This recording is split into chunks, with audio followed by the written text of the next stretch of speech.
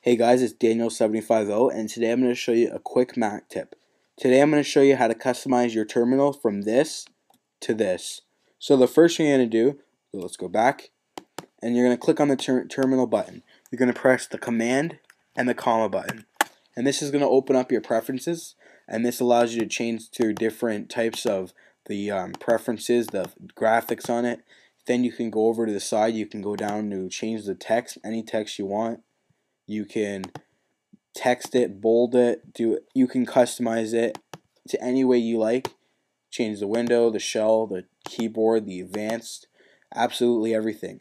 So once you want to select one, so let's select say novel for an example or pro. And so let's say I selected pro. All you're going to do is press default. So now this is the default every time you open up your terminal. So let's close this out.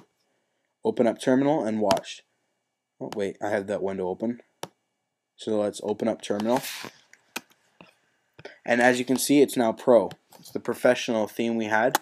And this basically will now sets it to the default. I just, another way how I did that, click this, new window. You can also do in any different types things also. So say open new window with red sands, and this gives you like this also. If this video helps, please subscribe. Thanks for watching.